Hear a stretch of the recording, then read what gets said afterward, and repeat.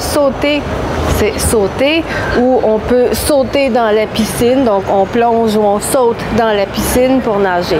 Mais il y a aussi des expressions avec sauter, c'est une expression figurée, c'est pas littéralement sauter.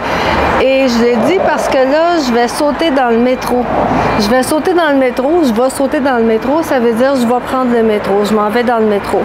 Et quand on dit sauter comme ça, c'est l'idée que c'est un peu plus rapide. Euh, là, on a fait le marché, on a un gros sac plein de bouteilles, puis de fruits, y a du kéfir, il y a du vinaigre de cidre de pomme, et c'est très lourd.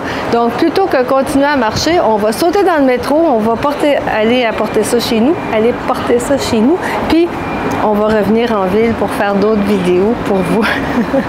Donc, on peut sauter dans le métro. Je peux aussi dire, ah ben, attends, je vais sauter dans la douche. Je vais sauter dans la douche. Je saute dans la douche. Ça veut dire, je prends une douche rapide, puis je vais être prête. Ou je saute dans mes souliers, je saute dans mes sandales. Ça veut dire, je mets mes souliers. Mais avec l'idée que c'est vite, vite, vite. Donc là, je vais sauter dans le métro. Salut!